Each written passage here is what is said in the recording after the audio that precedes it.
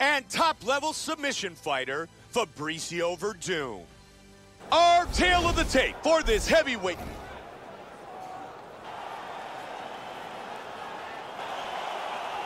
Cain Velasquez. There you go, first round, you ready? Fabricio You ready? Werdum. Let's go. Here we go.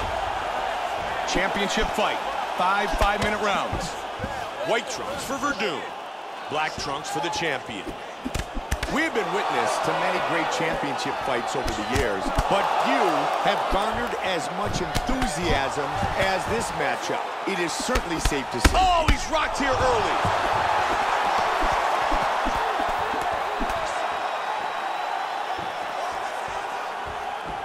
What a jab!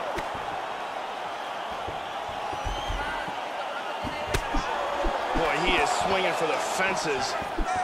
Oh, and another one. That hurt him. There it is. Oh, look at that. Lands a huge kick. Hard straight punch. Whoa! Oh! It is all over. It is all over. Cain Velasquez, the victor.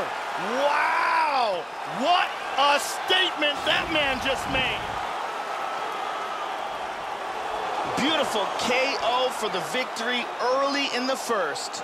We can see it one more time. Look at this huge straight punch that causes the KO here. Great angle here. Boom! And then he's out. Here is Bruce Buffer. Ladies and gentlemen, referee Mario Yamasaki has called a stop to this contest at 1 minute, 16 seconds of the very first round.